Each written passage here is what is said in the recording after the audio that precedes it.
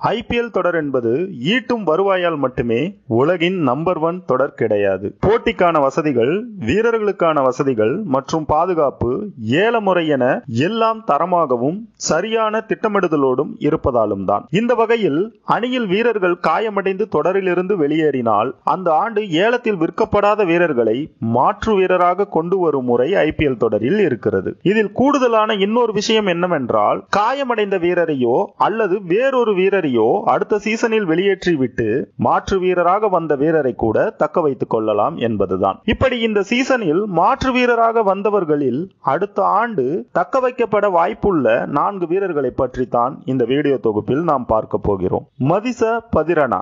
Chennai Super Kings. இலங்கையின் under nineteen அணியின் வேகப்பந்து வீச்சாளரான இவரை நியூசிலாந்து வேகப்பந்து வீச்சாளர் ஆடமில்னே மில்னே காயத்தால் வெளியேற சென்னை அணி மாற்று வீரராக கொண்டு வந்தது. ஒயிட் பால் மாடர்ன் கிரிக்கெட்டில் லெஜண்ட் வேகப்பந்து வீச்சாளரான இலங்கையின் லசித் மலிங்கா பாணியில் பந்து வீசும் இவருக்கு சென்னை அணியில் பிரகாசமான எதிர்காலம் இருக்கிறது என்று தெரிகிறது. இந்த ஐபிஎல் தொடரில் சென்னை அணியின் கடைசி போட்டி முடிந்த பிறகு பேசிய கேப்டன் தோனி இவரது பந்து வீச்சை பேட்ஸ்மேன்கள் கணிக்க கஷ்டப்படுகிறார்கள் என்றதோடு இவர் சென்னை அணியின் வருங்கால திட்டத்தில் இருக்கக்கூடிய வீரர் எனவும் தெரிவித்திருப்பது ஐபிஎல் தொடரில் சென்னை அணியில் இவரது எதிர்காலத்தை காட்டுகிறது. Rajat Patidar Bangalore Royal Challengers. மத்திய பிரதேசத்தைச் சேர்ந்த இந்த இருபத்தி எட்டு வயது வீரரை கடந்த ஐபிஎல் சீசன் பெங்களூர் அணி இவரது அடிப்படை விலையான இருபது லட்சத்திற்கு எடுத்திருந்தது. ஆனால் நடந்து முடிந்த இந்த ஆண்டு ஐபிஎல் மெகா ஏலத்தில் இவரை பெங்களூர் அணி மட்டுமல்லாது எந்த அணிகளும் வாங்க முன்வரவில்லை. இந்த நிலையில்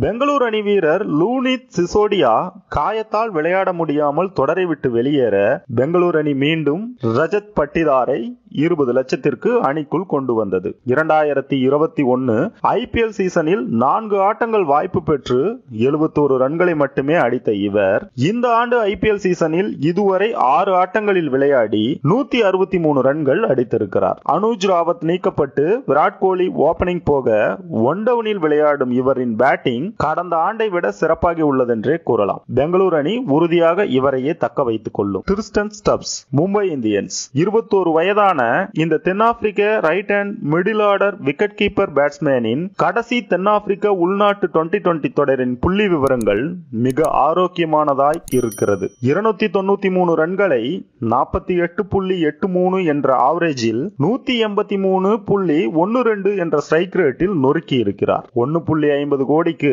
மும்பை அணியால் வாங்கப்பட்ட இங்கிலாந்தின் இடக்கை வேகப்பந்து வீச்சாளரான டைமால் மில்ஸ் கணுக்கால் காயத்தால் தொடரை விட்டு வெளியேற இருபது லட்சத்திற்கு இவர் மும்பை அணிக்குள் வந்திருக்கிறார். இவரின் பேட்டிங் திறமை தாண்டி இவர் விக்கெட் கீப்பராகவும் இருப்பது மும்பை அணியில் இவர் இருப்பிற்கு வலு சேர்க்கிறது. குமார் கார்த்திகேயா மும்பை இந்தியன்ஸ். இந்த ஐபிஎல் தொடரில் மும்பை அணியின் ஃபாஸ்ட் பவுலிங் யூனிட்டிலாவது பூம்ரா இருந்தார். ஆனால் மும்பையின் spin bowling unit fast bowling யூனிட்டை விட பலகீனமாக இருந்தது. இந்த சூழலில் முகமது அர்சத் கான் பயிற்சியில் காயமடைய அவருக்கு பதிலாக left hand chinaman mystery ஸ்பின்னருக்கான திறமைகள் இருக்கிற குமார் கார்த்திகேயாவை மும்பை அணி அழைத்து வந்தது. இவரால் மும்பை அணியின் ஸ்பின் பவுலிங் யூனிட் முன்பை விட பலமாய் இருக்கிறது என்றே கூறலாம். இவர் தற்பொழுது நான்கு ஆட்டங்களில் விளையாடி ஐந்து விக்கெட்டுகளை ஏழு புள்ளி எட்டு பூஜ்ஜியம் எக்கானமியில் வீழ்த்தி இருக்கிறார் மும்பை அணி ஸ்பின்னிற்கு இவரையே நம்பி அடுத்தடுத்த சீசன்கள் போவதற்கு பெரிய வாய்ப்பு இருக்கிறது.